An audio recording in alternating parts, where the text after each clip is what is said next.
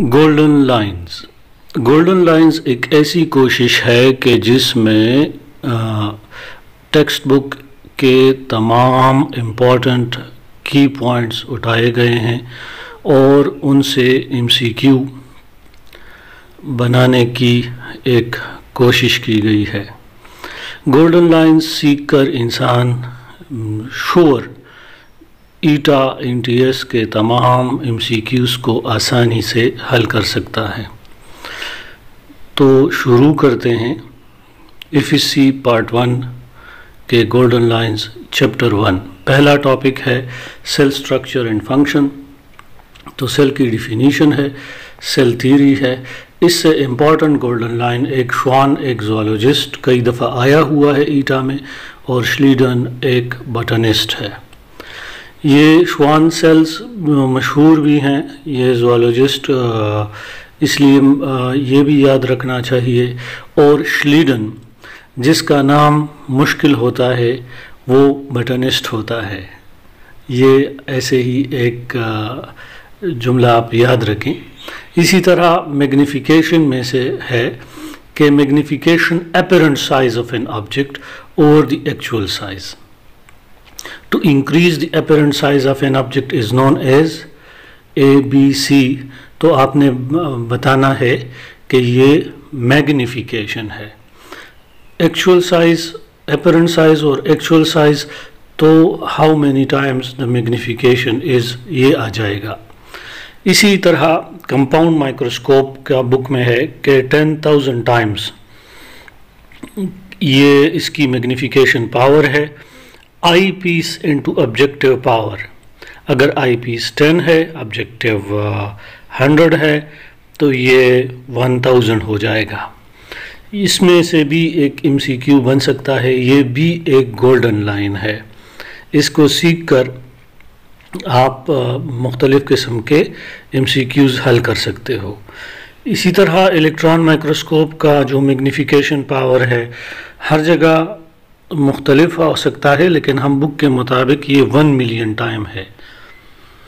Resolution के बारे में to distinguish between two two closely related objects is known as resolution power और uh, ये इस तरह भी है कि distinguish between two closely related objects been separate from one in other तो ये एक इंपॉर्टेंट एमसीक्यू हो सकता है। इसको आप जो है कंसिडर कर लें कि रिजोल्यूशन पावर के लिहाज से आ, ये आ सकता है कि it is it depend it increase the quality of microscope human eye one millimetre तक देख सकती है।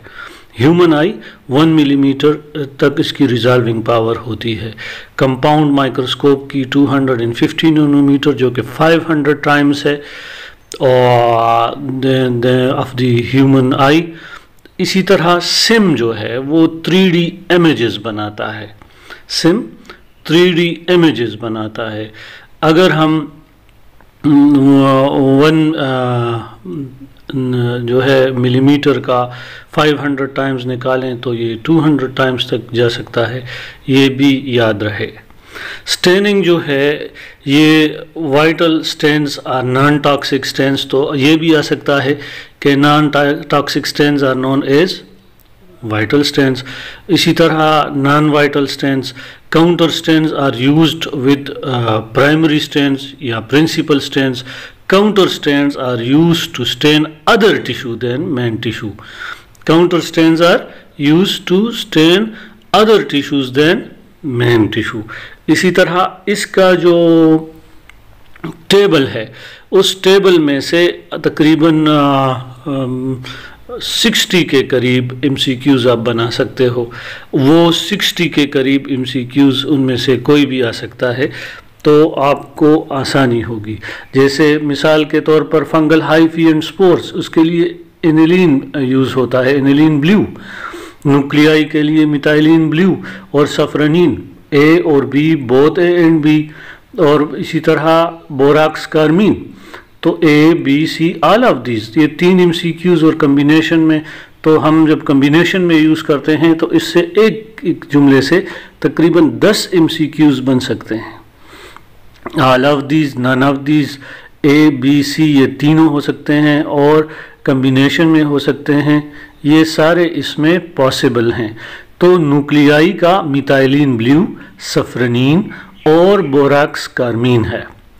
इसी तरह लेगनिन के लिए शुल्ट सोल्यूशन है सफरनीन है और इनलिन सल्फेट है। स्टार्च के लिए शुल्ट सोल्यूशन है। आयोडीन आयोडाइन सोल्यूशन है। और आप इन दोनों को पोलिसेकाराइड भी कंसिडर कर सकते हो। होमोपोलिसेकाराइड और हिट्रोपोलिसेकाराइड एक अलग से ट्रिक हो सकता है कि होमो इन हिट्रो के लिए कौन सी चीज़ कॉमन है। जैसे कि लेगनिन अगर हेट्रोपोलिसेकाराइड है स्टार्च होमो है तो शुल्ट सोल्यूशन है। Schultz solution is used for the staining of lignin starch both A and B ये चीज़ें इसमें आ सकती हैं। इसी तरह सेलुलोज देखें अगेन पोलिसेकाराइड है। शुल्ट सोल्यूशन है। तो ये शुल्ट सोल्यूशन और यूसाइन यूसिन है। तो ये भी एम का एक पूरा हब है, एक पूरे, एक हम इससे बहुत ज़्यादा सीख सकते हैं कि सेलेलोज शुल्ट सोल्यूशन एयूसिन, ये इसके लिए इस्तेमाल होगा, ये तीनों पोलीसेकराइड्स हैं, लेगनिन स्टार्ट सिलोलोज और ये मुख्तलिफ़ अंदाज से एम सी क्यूज को ट्रिक किया जा सकता है। सन्ट्रफ्यूगेशन में supernatant लीकेंट no precipitate at certain speed where no precipitate at certain speed is present it is known a supernatant solution supernatant floating above ये याद रखें। न्यूक्लियस और 800 जी पर 10 मिनट्स के बाद आ, हमारे पास ये प्रिसिपिटेट कर जाता है इसका पिलट बन जाता है। इसका पिलट बन जाता है। तो ये याद रखें कि supernatant no precipitate at certain speed और न्यूक्लियस 800 जी पर 10 मिनट्स के लिए और द हेवीएस्ट ऑर्गेनेली है। इसी तरह माइटोकॉन्ड्रिया और प्लास्टिड ट्वेंटी थाउज़ेंड जी पर 15 मिनट्स के बाद हासिल होते हैं। और वन लेग जी पर cell membrane microsomes one and half hour time के बाद सेंट्रिफिकेशन के बाद ये हासिल होते हैं। One lakh in fifty thousand पर राइबोसोम थ्री आवर्स के बाद हासिल होते हैं। इंजाइम्स सबसे लास्ट में होते हैं। और the best way to isolate enzyme is a chemical method ये भी एक तरीका है। बाज़ बुक्स में ये भी मैंशन है। तो यहाँ पर आपको ये कंसिडर करना चाहिए। हो सकता है कि ये आ जाए कि माइटोकॉन्ड्रिया प्लास्टिक 20,000 जी पर 15 मिनट्स के लिए एक लाख जी पर सेल मेम्ब्रेन माइक्रोसोम्स और 150 पर इसी तरह राइबोसोम्स टिश्यू कल्चर के इंपॉर्टेंट गोल्डन लाइंस हैं कि ये माइक्रो प्रोपिगेशन है। Of the following is known as micropropagation totipotent cells are दो cells which contain the ability to form any organ in the plant, are known as totipotent cells. तो इसे explant contain the totipotents and mostly buds जो lateral buds या apical bud होते हैं, वो लिए जाते हैं। Explant are healthy meristematic tissues which contain promeristem primary meristem और एपिकल मेरिस्टेम अगर semi solid and broth liquid दोनों हो सकते हैं। Callus undifferentiated mass of cell is known as callus undifferentiated mass of cell is known as callus और differentiation is brought about by hormones अगर hormones ना हो तो क्या हो जाएगा? कालस हमेशा कालस रहेगा। ये भी एमसीक्यू आ, आ सकता है। Without the of hormones in the absence of hormones callus will remain callus forever क्योंकि हार्मोन ही हैं जो इनमें टिश्यूज़ के डिफ्रेंशिएशन करते हैं।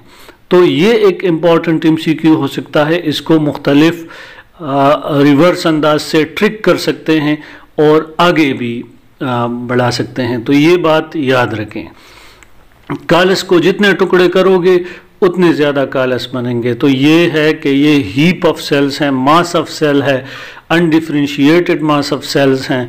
It can form many or thousands and thousands of pieces and then can grow again into callus and if hormones are applied they will be differentiated totipotent के बाद प्लूरीपोर्टेंट और मल्टीपोर्टेंट सेल होते हैं। ये वो सेल्स होते हैं जिनमें कम हो जाती है। टिश्यूज फॉर्मेशन की सलाहियत। इसी तरह रूट फॉर्मेशन के लिए high oxygen and low cytokinin ये ज़रूरी है।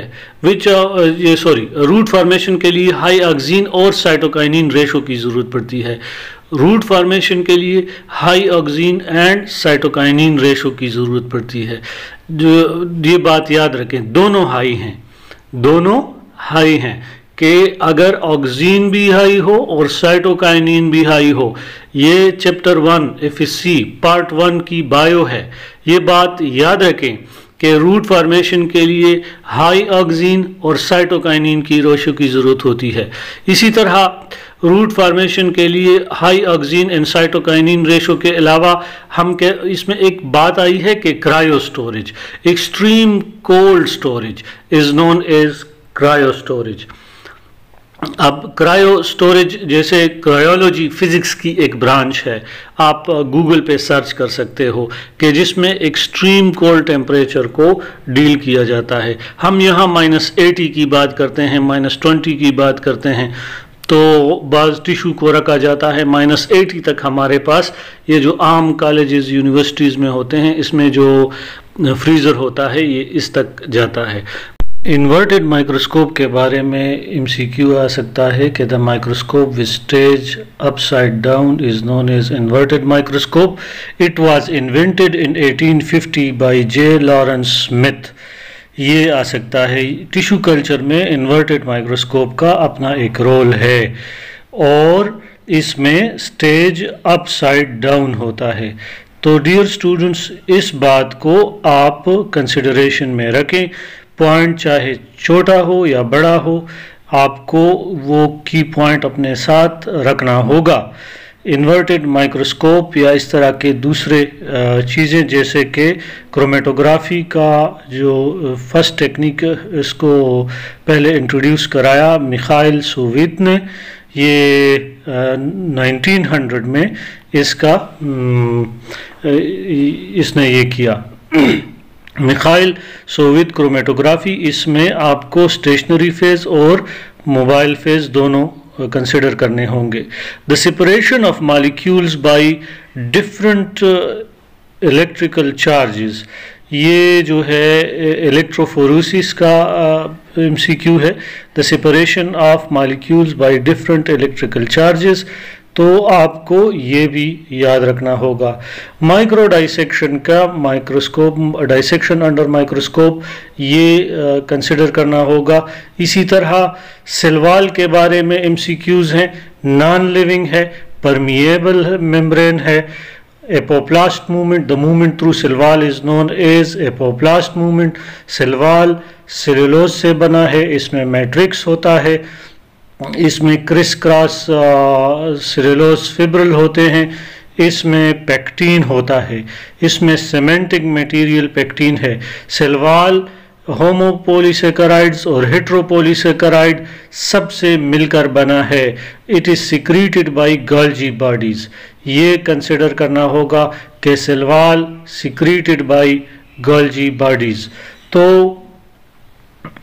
या दूसरा भी आ सकता है, कई दफ़ा एमसीक्यू आया हुआ है कि गॉल्जी बॉडीज़ नहीं दिया हुआ तो प्रोटोप्लास्ट है, क्योंकि पोलीसेकराइड जो हैं, ये गॉल्जी बॉडीज़ बनाते हैं। यहाँ ये बात याद रखें, उधर भी डिस्कस करेंगे कि disaccharides are synthesised by endoplasmic reticulum जबकि polysaccharides are synthesised by Golgi bodies ये पैकेजिंग मटेरियल होते हैं, उसमें डिस्कस करेंगे। तो ऑप्टिकली एक्टिव मटेरियल है, इसमें सेलुलोज वो सेलुलोज जो कि एक होमोपोलीसेकराइड है। सिलवाल के बारे में ये एम आ सकते हैं। उनमें जो हेट्रोपोलीसेकराइड्स हैं, वो पेक्टीन है हीमी सेलुलोज है लेगनिन है और इसका जो मिडल लेमेला है, वो ऑप्टिकली इनएक्टिव है। अब पेक्टीन और हेमीसिलोज ये हेट्रोपोलीसेकेराइड है लेग्निन वुड फाइबर है हेमीसिलोज पेंटासांस कहलाते हैं पेंटासांस कहलाते हैं। मिडल लेमेला सीमेंटिंग मटेरियल है। वुडी प्लांट में ये भी वुडी हो जाता है, क्योंकि इसमें लेग्निन आ जाता है। लेग्निन एक, इसकी तीन अकसाम हैं। ये कामराइल, सिरेंजाइल, और इसी तरह एक और किस्म है जिसको हम सिरेलोज के अंदर डिस्कस करेंगे। प्राइमरी सेलवाल ऑप्टिकली एक्टिव है। ये मैट्रिक्स सेलुलोज से बना है। प्राइमरी सेलवाल ऑप्टिकली एक्टिव है, इसमें मैट्रिक्स होता है और इसमें सेलुलोज होता है। primary cell wall the first uh, cell wall is known as primary cell wall और जो भी प्लांट का पहला टिश्यू होता है, यानी आप में रिस्टमेटिक देख लो, या दूसरे सेल्स देख लो पेरेंकायमा उसमें प्राइमरी सेलवाल होता है। सेकेंडरी सेलवार कोलनकायमा स्क्लीरनकायमा दोनों में होता है, लेकिन जिसमें लेगनिन हो, उसमें सेकेंडरी वो स्क्लीरनकायमा है। ये ऑप्टिकली एक्टिव है सेकेंडरी सेलवाल हती के टर्शरी सेलवाल तक, बाज बुक्स में एम चले जाते हैं। तो ये इन दोनों का खासा है। लेकिन स्क्लीरन कायमा जो है, इसमें यूनिफॉर्म होता है, लेगनिन होता है, जबकि कोलन कायमा में पार्शली डिपॉजिट होता है, जैसे एंगुलर और लक्यूनर और इस तरह के दूसरे अकसाम हैं इसके। नाइट्रोसोलोज इसको गन कार्टन भी कहते हैं। Gun cotton in 1862 the first man made plastic nitrocellulose इसको गन कार्टन इसलिए कहते हैं कि ये हाई फ्लेमेबल है। ये बारूद के तौर पर भी इस्तेमाल हो सकता है। नाइट्रोसेलुलोज ये ब्लॉटिंग में वेस्टर्न ब्लॉटिंग और इस तरह के एक्सपेरिमेंट्स में भी यूज़ होता है। तो नाइट्रोसेलुलोज ये आपके टिडबिट्स में दिया गया होता है।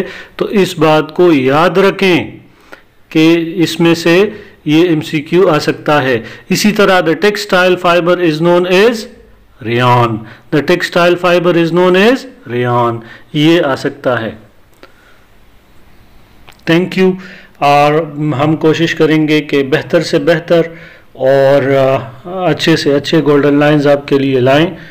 अगर आप इसको पसंद करते हैं तो सब्सक्राइब करें और हम आपके लिए आपका सारा कोर्स आसान बना देंगे। हैव अ गुड डे और अल्लाह आपको खुश रखे। आमीन। कोई सवाल हो तो आप कमेंट्स में पूछ सकते हैं। जजाकल्ला